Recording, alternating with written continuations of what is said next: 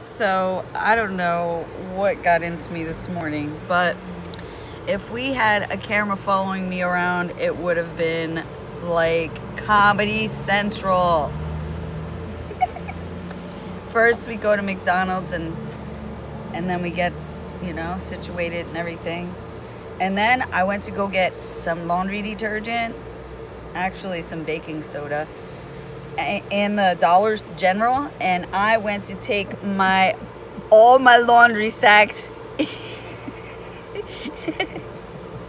into the Dollar General.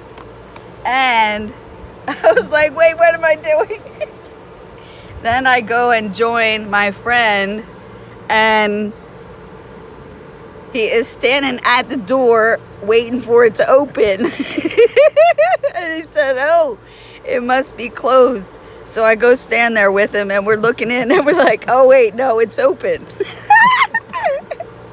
so we go in and then I get to the laundromat right here. And if you haven't seen my story on Facebook today, go check it out.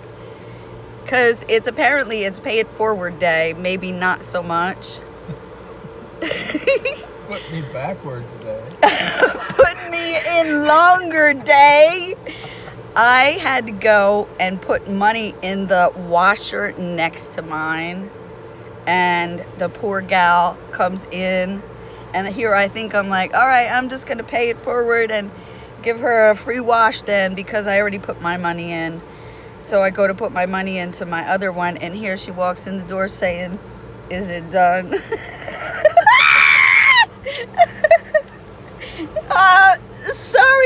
just restarted it.